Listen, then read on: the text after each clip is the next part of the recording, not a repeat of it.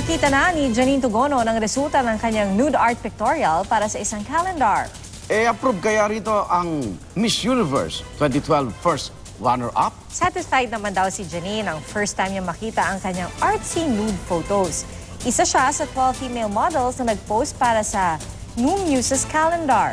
Hindi po biro ang mapabilang sa model ng naturang special calendar dahil ang presyo ng isang set o package nito nasa halos 50,000 pesos hanggang halos 1 million pesos.